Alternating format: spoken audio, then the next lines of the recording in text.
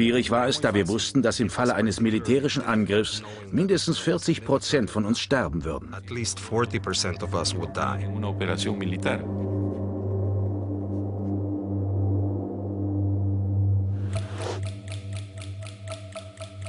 Nur noch wenige kostbare Minuten bleiben, bis das Fußballspiel vorbei ist und damit die Chance zur Geiselbefreiung.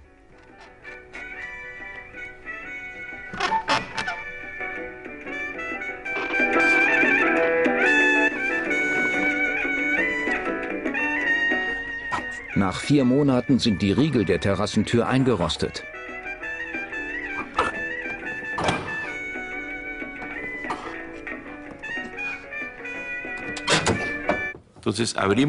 Wir versuchten die Tür nur ein bisschen zu öffnen, weil wir befürchteten, dass außen eine Bombe angebracht sein könnte. Aber die Tür lässt sich sicher öffnen. Unter den Geiseln spricht sich der Befreiungsplan herum.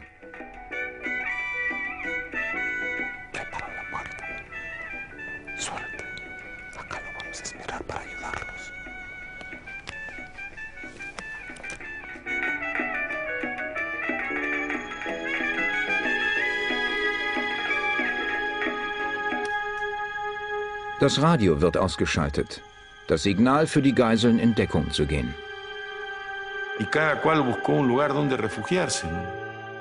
Jeder suchte sich einen Platz zum Verstecken. Eine kleine Gruppe von uns brachte alle in die Zimmer.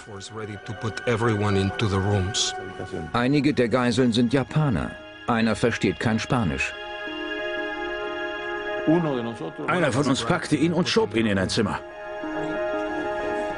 Das Zeitfenster schließt sich schnell.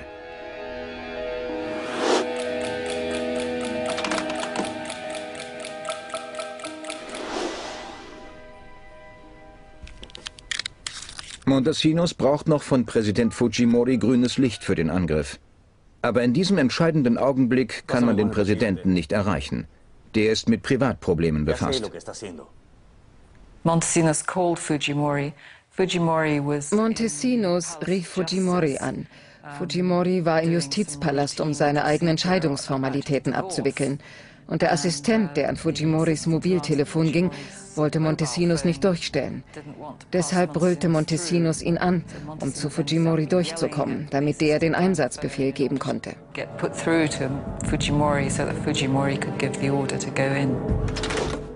Das Gespräch zwischen Geheimdienstchef Montesinos und Präsident Fujimori wurde aufgezeichnet.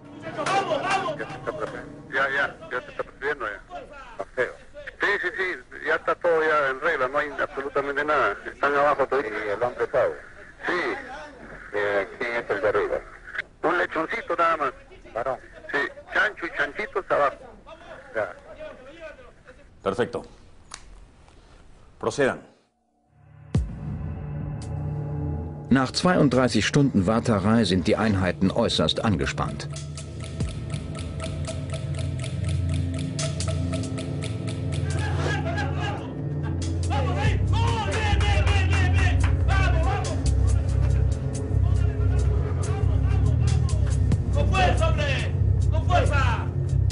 Nun ist es Giampietris Aufgabe, den Angriffscode zu geben.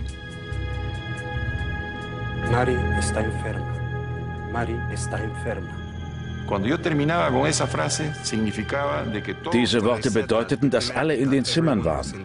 Die Gänge frei, die Terroristen unten und die Türen offen. Pater Wicht sucht Schutz an der Wand und betet.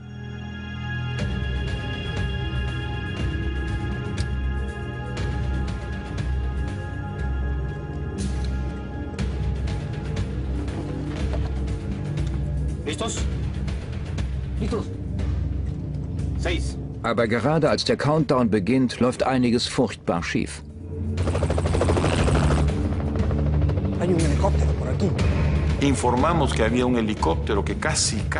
Ein Hubschrauber hätte die Aktion beinahe zunichte gemacht. Ich weiß nicht, warum er gerade dann über das Gebäude fliegen musste, aber die Guerillas hörten auf, Fußball zu spielen.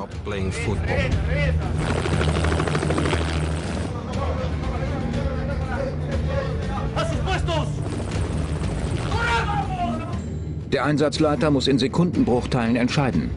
Sigue, sigue. Tres, dos, Uno. Dale. Die Sprengladung zündet nicht. ¿Qué pasa, carajo? No sé. Y el oficial que estuvo abajo tuvo un tiro seco. Als der Offizier im Tunnel das erste Mal zünden wollte, passierte nichts. Aber sie hatten eine Notfalllösung. Eine Autobatterie sorgt für eine schnelle Low-Tech-Notlösung.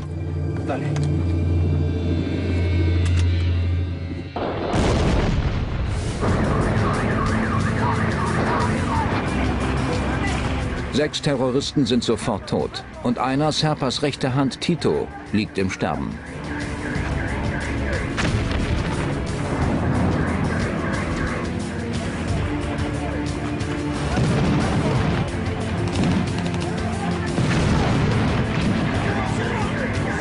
Serpa und sieben andere laufen nach oben, um die Geiseln zu töten.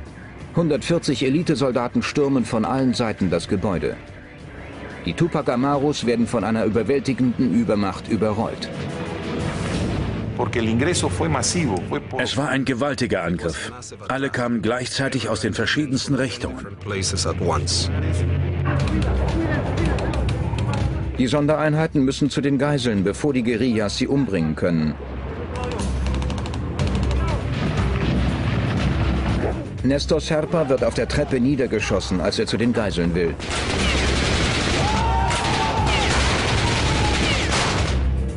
Der kühne Anführer der Tupac Amaros liegt nun sterbend in seinem Blut.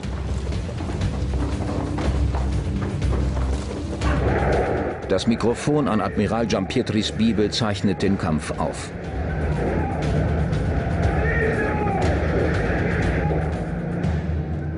Nosotros siempre supimos que si sobrevivían Ich habe es immer gewusst. Gäbe es einen Angriff und sollten die überleben, würden sie versuchen, uns zu töten. Und genau das ist passiert. Exactly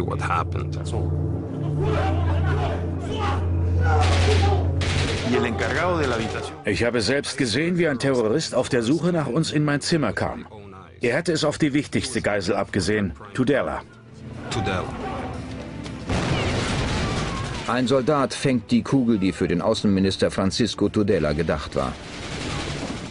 Tudela flieht verletzt, ist aber am Leben.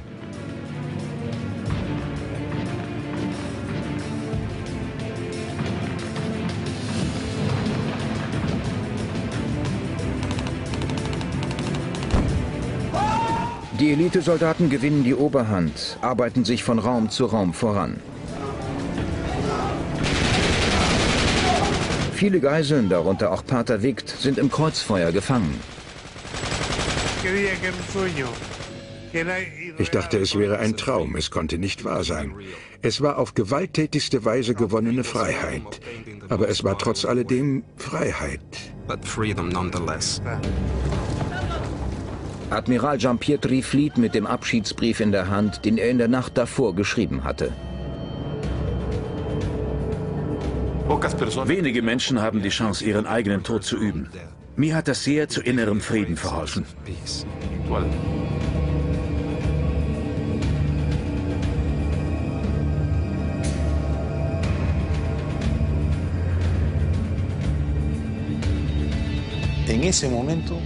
In diesem Augenblick sagte ich mir, ich bin am Leben.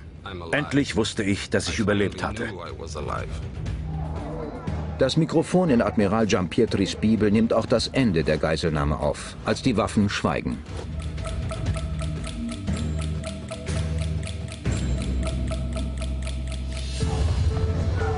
Spätere Berichte sagen, die Elitesoldaten hätten 500 Kugeln in Serpas Körper gejagt. Kritiker nannten das eine Art von Lynchjustiz und bittere Rache an dem Mann, der Perus politische Führung vor der ganzen Welt gedemütigt hatte. Ob er bei der Schießerei getötet oder hingerichtet wurde, die Wahrheit wird man wohl nie erfahren.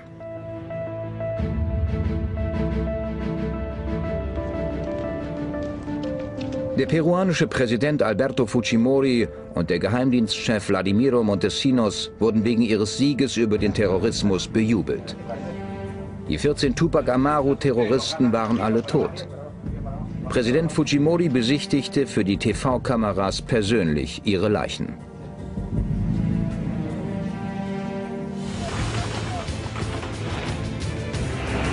Nur eine Geisel wurde getötet, der oberste Richter Carlos Justi Acuna. Zwei Elitesoldaten sterben auch, Kapitän Raúl Jiménez und Oberst Juan Valer, der Mann, der die Kugel fing, die für den peruanischen Außenminister bestimmt war. Die Gewaltaktion der Tupac Amarus ging letztlich nach hinten los. Nestor Serpa Cartolinis Tod war das Ende dieser Terrororganisation. Seine Söhne Nestor und Juan Carlos leben jetzt im Exil. Seine Frau Nancy wird für den Rest ihres Lebens im Gefängnis bleiben. Sally Bowen glaubt, dass die gewaltsame Beendigung der Geiselnahme vor allem durch die Demütigung der peruanischen Regierung zustande kam. The military and the intelligence services had been made to look stupid. Das Militär und die Geheimdienste wurden wie Idioten dargestellt. 14 Guerillas, die meisten von ihnen waren blutjung und ohne besondere Ausbildung von irgendwo aus dem Urwald gekommen, noch nie vorher in Lima gewesen und selbst, wenn sie letztlich nichts erreichten, war das ein heftiger Schlag gegen den Stolz der Armee und der Geheimdienste. Die mussten sich einfach rächen.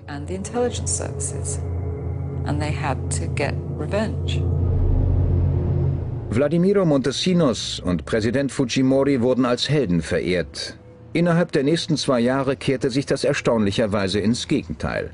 Sie wurden zu Ausgestoßenen.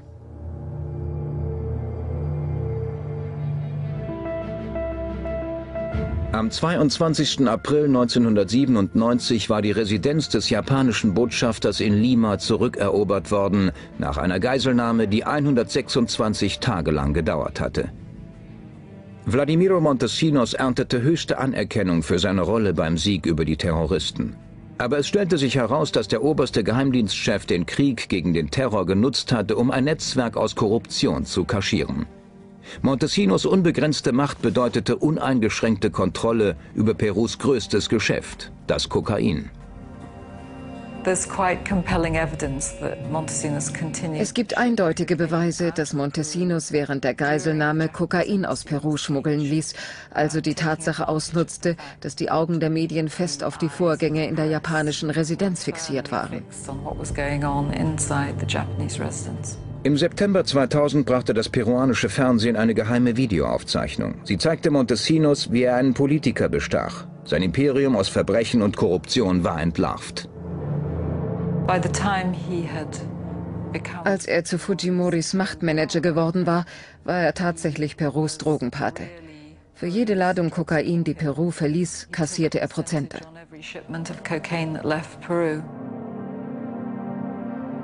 Montesinos floh außer Landes, wurde aber im Juni 2001 festgenommen. Bei seinem Sturz riss er den peruanischen Präsidenten Fujimori mit sich. Letztlich konnte Fujimori ohne Montesinos nicht überleben. Auch er floh außer Landes, nicht lange nach Montesinos, vielleicht ein paar Wochen. Er reiste ab zu einer internationalen Konferenz in Brunei und kam nie zurück. Er schickte ein Fax, in dem er dem Volk von Peru mitteilte, er sei zurückgetreten. Der Präsident war weg, einfach so. Vladimiro Montesinos sitzt zu 15 Jahren Haft verurteilt in einem peruanischen Gefängnis und wartet auf weitere Verfahren. Pater Wicht wurde mit Perus nationalem Menschenrechtspreis für seine Unterstützung der Geiseln ausgezeichnet. Gewalt ist keine Lösung. Gewalt führt nur zu neuer Gewalt, zu Hass, Verbitterung und Tod. Nach der Geiselhaft ging Admiral Giampietri in die Politik und wurde 2006 zum Vizepräsidenten Perus gewählt.